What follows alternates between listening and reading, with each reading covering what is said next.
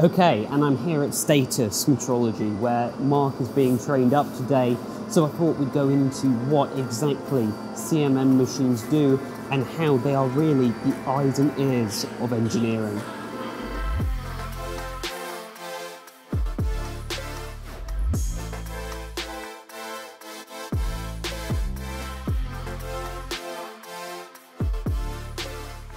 Now, for those of you who follow our monthly updates, you'll have seen that we've had our compressor measured here, and there's great news with that. But the main focus here is that the compressor is something that needs to be as accurate as possible.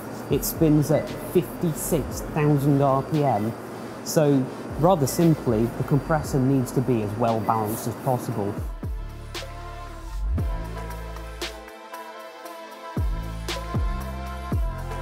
And that will be applied to the rest of the helicopter. Now what I mean by the rest of the helicopter is literally every mechanical part, bearings, gears, the compressor, engine internals, everything will go through the CMM machine.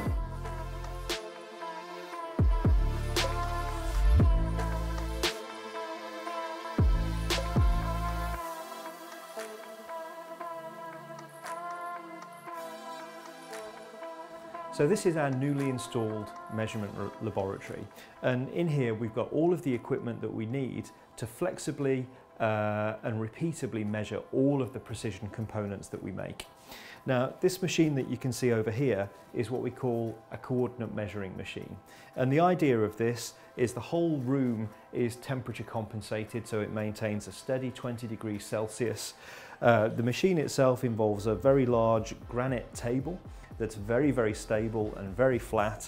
And then we have essentially uh, a, a, piece of apparatus that's very, uh, very similar to a CNC machine itself. But rather than a cutting head, it has uh, a ruby tipped probe at the bottom here which can be positioned uh, under computer control to go and work its way around all of the known features of components uh, that we've uh, manufactured here to create uh, a sort of dot representation of where all the key features are in space to measure that what we've made actually conforms to what was put on the drawing and that we're meeting um, the permitted level of variation of any of these dimensions or the tolerances as, as we call them.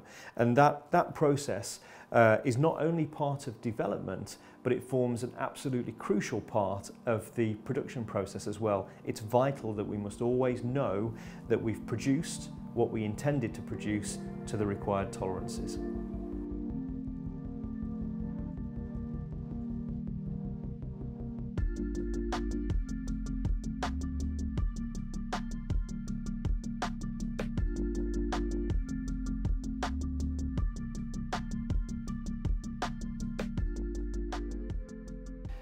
So the helicopter is far more machine than it is aircraft, but not all mechanical components are born equal.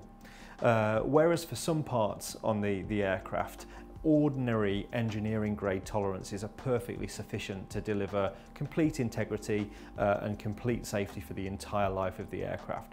There are certain parts where that's nowhere near enough and a much higher level of uh, precision and accuracy are required to, to deliver the performance. Examples of those sorts of components are uh, the turbo machinery elements, the high speed spinning shafts, bearings, gears, uh, and elements of the, the flight control system. Now, in order to produce components that conform to the very tightest tolerances that are required, then it's essential that you can measure stuff. You can't just assume that by using modern integrated computer controlled manufacturing equipment that the components will come off uh, and uh, conform to drawing. You have to independently inspect them. And to give you an example of that, if we take this gear here, a component of this size can vary uh, just with the difference in temperature from the machining centres over there to the CMM room in here by an amount that's greater than the tolerances or the, the degree of variation that we're allowed to uh, accept for the dimensions on these parts. So what the CMM machine allows us to do and what a lot of our other measurement equipment allow us to do is to manage the, the process that's required to deliver these components to tolerance. If we go and have a look outside, I'll explain a little bit more about what we're doing. So over here, we've got our main machining line where we produce gears, we produce bearings and a lot of the other precision components. What you can see here is that it's very much vertical integration in, in action. So you can see the raw stock material that we've taken in here. So bringing in high quality, uh, but material in its lowest possible cost form. It's been turned down to a diameter on the lathe, and then we're just finished grinding this internally and externally, ready to become a bearing race. Now, the tolerances on that are so tight that if we don't control the temperature in that machine and then compensate for the size, by the time we get it into the temperature controlled measurement room out of there, it'll already be out of tolerance. And what the CMM uh, facility and our general measurement capability allows us to do is it allows us to understand these behaviors, provide the, the calibrations and the compensation that we need, and ultimately deliver components that consistently conform to the technical specifications that are required. Now, all of this thing is a vital part of developing our vertical integration strategy to produce these bits of uh, engineering jewelry that really define the helicopter and if you're not careful could lead to a significant amount of the, the cost of the, uh, the, the, cost to manufacture the, the whole aircraft. So what we're doing here is not only delivering parts that are of the highest possible quality, but we're doing that at the lowest possible cost. And that's how you get uh, HX50 to be delivered to market at a price point that will reinvigorate that industry.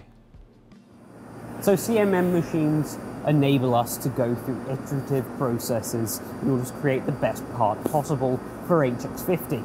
So if you enjoyed this video and want to see more, be sure to like and subscribe, and until next time, bye bye.